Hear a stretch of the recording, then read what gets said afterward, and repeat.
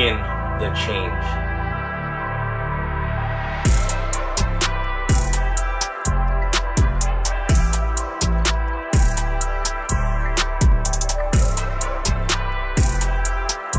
What a sick fish. Welcome back everybody to the channel. You guys are watching Cast and Conquer. I'm Andrew Walker and we are out on the beautiful Bay Quinte again chasing giant walleyes. It's been a slow couple days. We have got a couple really big fish the last few days. Steve got a giant two days ago, 10 and a quarter pounds, 28 incher. I'll show a little clip of that release right now. Big girl. Going back for Stevie boy. Going back in the water. Heck yeah. She gave me two shots. First one on the jigging Rap. Got her, came off, and then she saw the spoon. Look at that fish. Look at that belly, man. Beauty. Stiff. There she goes. The big fish have been present the last two days and we're marking all kinds of fish in this spot, but they have been very negative. Not wanting to chase, not wanting to commit, but today we have a little bit of a pressure change. We had a big storm go through, freezing rain and rain last night, so I'm hoping all these changes wrapped up into one are gonna make these fish firing on all cylinders. So we're gonna be starting today the big number nine jigging Rap in perch on the deadbolt with the frostbite diesel 1000 reel frostbite 12 pound braid. And then we're going with a slap shot same thing diesel 1000 frostbite braid with the big scissor kick. We're going to tip that guy with a small full minnow and a minnow head and then on the jigging Rap, just a small minnow. We're going to see if we can get an absolute tanker today so stick with us. Should be a great day on the beautiful Bay Quinte. Got one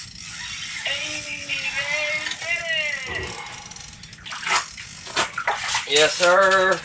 We got one. Oh, the hook almost got me in the eyeball. Hook it's right there. Well, we weren't getting any bites on the jigging Rap. Made a switch to a buckshot. Oh my goodness. Nice little, maybe two pounder. Beauty little fish. I missed a fish before that, a little bit bigger. Been seeing a good amount of fish and uh, they just weren't cooperating. A little bit more aggressive than yesterday, but I made that switch and both of those fish seemed to want to cooperate. And I heard a guy next to me catch two as well, so they seem to be a little bit more on today. Let's get back to it. Calm down. Two. One from each way. One's coming hot. This one's going to eat it. Oh, the other one. Yeah, the other one's so big, though. The other one's a giant. Oh, they're actually both pretty big. They're actually both pretty big. Come on, baby. Eat my minnow. He's going to eat it. go up? Yeah, he's right under it. He's straight. He's vertical. Oh, he didn't do it. It's a good one, too. It's a good one. It's more than a square. Well, we're packing, bro. Okay. Sounds good, man. Okay. See you soon. Yeah, ciao. Ciao, ciao.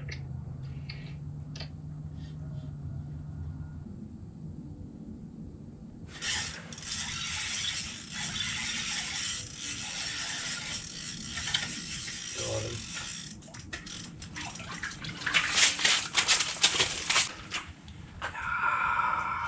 They are digging the change. That new color, it's like a pink and chartreuse. We got a beauty, maybe three and a half, four pounder right there. Absolute stud of a fish. I just tried tapping it a little bit harder on the spot. We got him. Haven't kept fishing in a couple days, so that's number two of the day. Going with his buddy. Gonna get minnows back on here. They're eating full minnows today.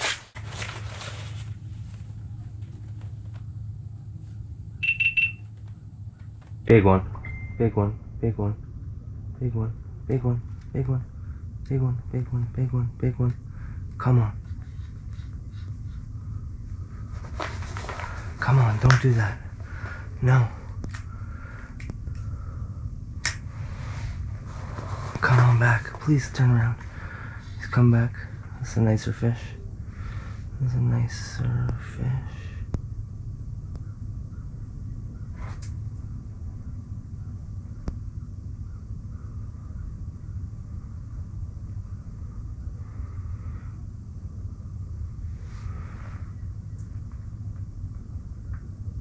Come on, do it.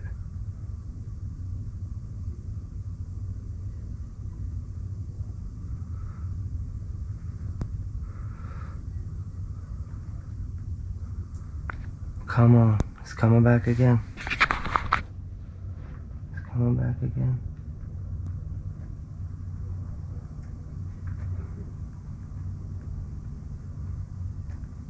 Do it. The.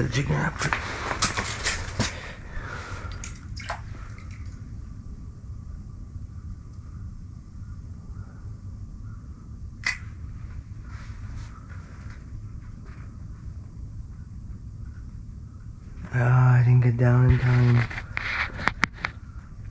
No, he doesn't see it.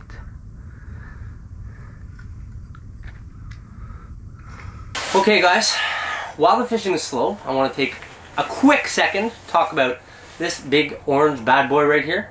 I've been using the hog heater, the 18,000 BTU, for the last two months, and I use it generally in the 650 XD and the 850 XD from Eskimo, with the 850 being the biggest tent out there, the most square footage inside. And I can say, on those cold, cold days, minus 20, I have a five pound propane bottle with me. I throw those two panels on high, and I have no problem having both corners of that tent warm. And it keeps the heat really well. So then you just put it down on low a little bit, maintain that heat, and we have been comfortable all winter long. I'm excited to be able to try the smaller one in my smaller Eskimo, but I really like a lot of the features on this, including the electric start. Easy to use, easy to bleed the line, and uh, keeps you warm all day long. So without further ado, we're going to get back to fishing, and I can see some big boys coming soon.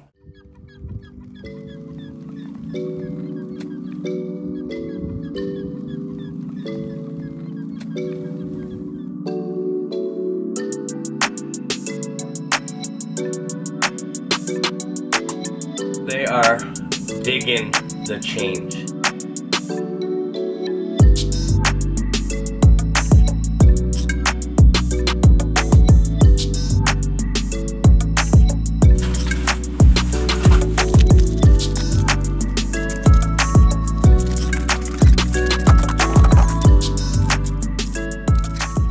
We just made a move.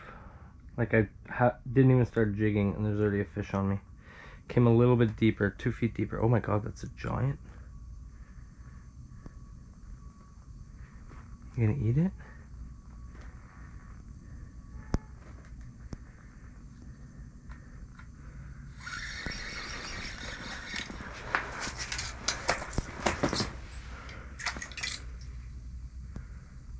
So, as you guys heard in that last clip with that big fish, we made a move. It had been like 45 minutes I hadn't seen fish. My client on the inside of me hadn't seen very many fish either. Ashley had caught a couple fish and she'd still been seeing fish. So she was about two feet deeper than me, so I went on the far side of her. We're in 27 now. 27, 28.8. We got fish coming in right now. Big one. We got a big one coming in right now. This looks really good. This this looks really good. Come on. Oh, we didn't like that big bounce. But yeah, like I was saying, that's two big fish now that have come in since I moved. Three feet deeper. I think it's going to be the trick. Catch a lot of my big fish midday after 11 o'clock out in this like 29 to 32 feet of water. We're going to see. We got big jigging Raps down. We got a buckshot tied on. We got a scissor kick tied on. We're going to make it happen. A little chocolate milk. Chocolate milk action.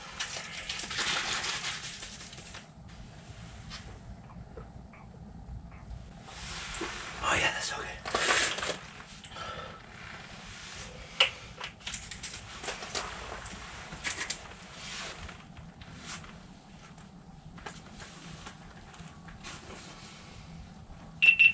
Big one. One, big one, big one. You got a big one.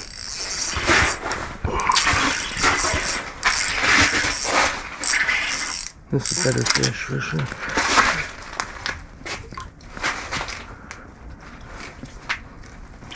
Come on. Yes.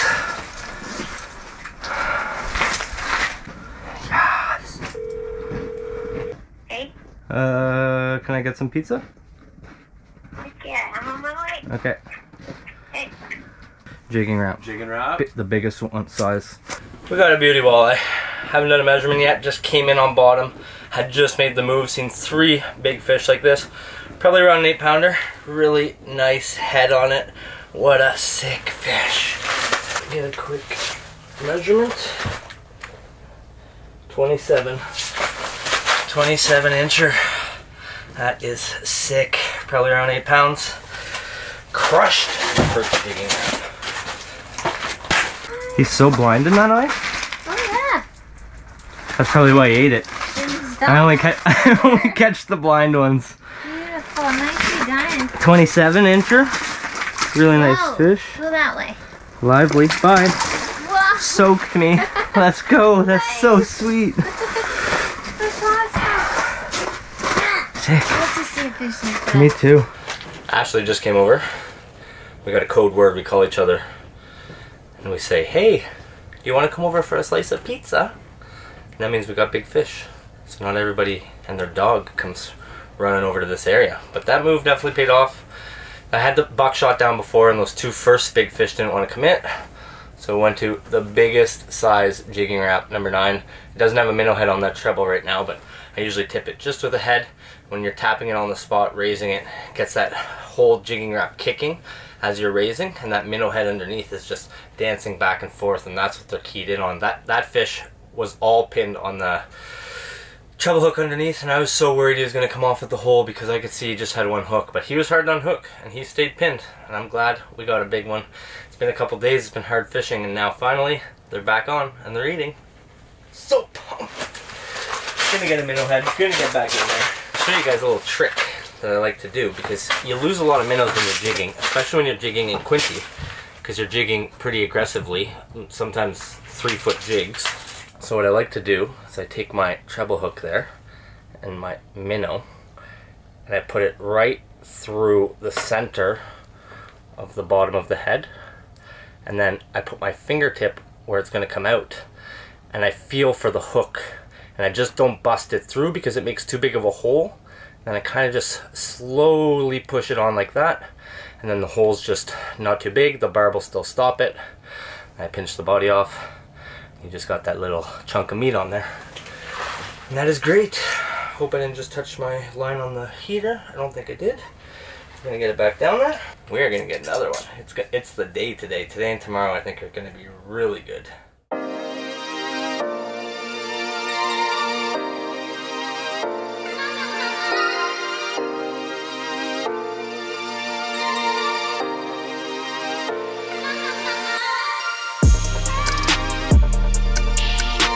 Uh, can I get some pizza? Yeah, I'm on my way. Okay.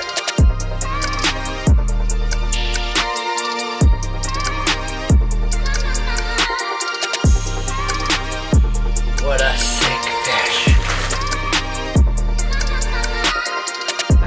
we catch the blind one. Let's go. That's so sweet. Got one? I'm coming.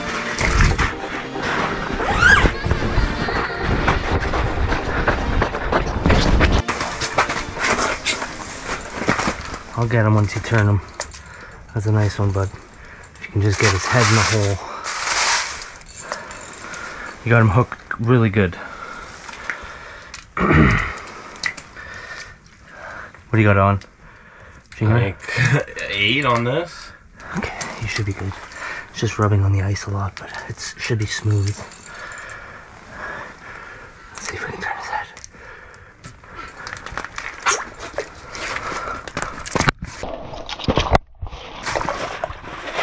Holy! I can't believe you got it. What a save! Oh my god! Oh, Way to go, oh. man. I can't believe you got it. She's ready to go. What a beauty. Yes! Nice! Waited all day for that guy.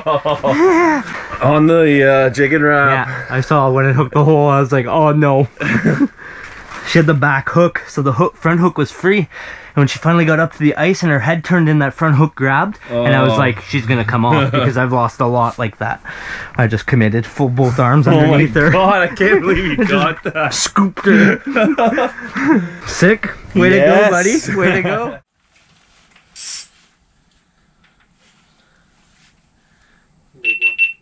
Big one, big one, big one.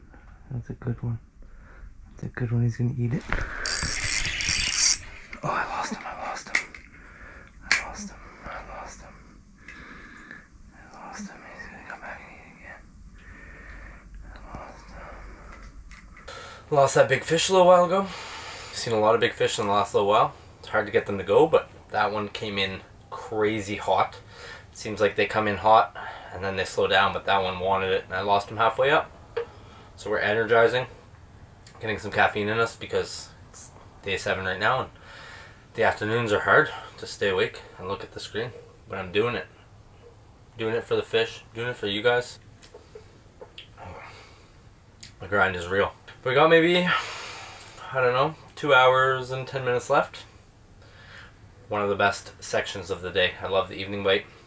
Don't like it as much as the morning bite or the late morning bite or that early afternoon bite, but mid afternoon seems to be slow and then the evening bite seems to be okay. So it's probably my fourth favorite bite in the day. We're still here. We're still jigging them. They're still here. They're still chasing. Soon enough, it's going to be that time where they're going to be eaten.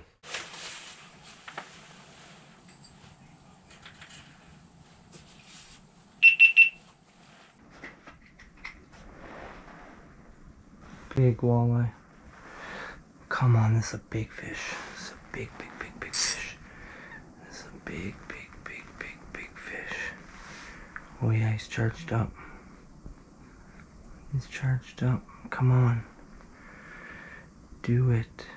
Do it. Do it. Is there two? I think there's two.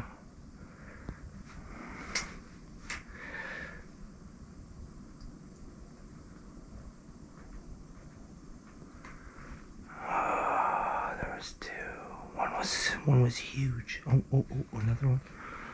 Another one. Another one. Three of them there. Little school. Little school three. Not aggressive to the jigging Rap right now though. I'm gonna try a spoon again.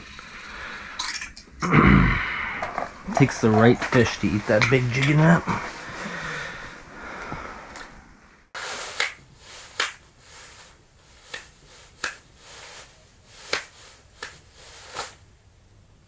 Anybody remember that game? Anyways, that was a great day. A couple really big fish caught, a couple nine pounders, a couple big fish lost. My buddy lost some big fish. I lost a big fish, but the big fish are starting to eat. And that is the key. Full moon is actually tomorrow. I thought it was today. So I think we should have another day of these fish being absolutely fired up. And we're going to be back out here bright and early tomorrow. So thanks for joining this week's video. And we'll see you guys on the next one. Don't forget, go down below, subscribe. Helps me out in a big way.